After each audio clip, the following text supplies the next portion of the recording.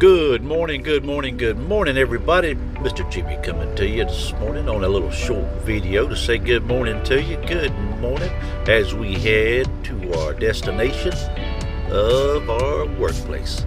That's right, I'm headed to work to go jump in that dump truck to do some shaking and baking and some rocking and rolling, some humping and a dumping, and getting it done. Trying to make a paycheck, trying to make a living, put some groceries on the table, and keep the lights on in the house.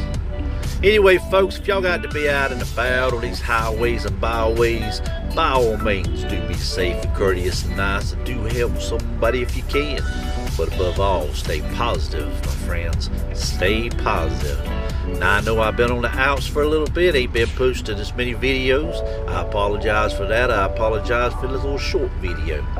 But sometimes you got to cut back and take care of business before you can get rolling some more.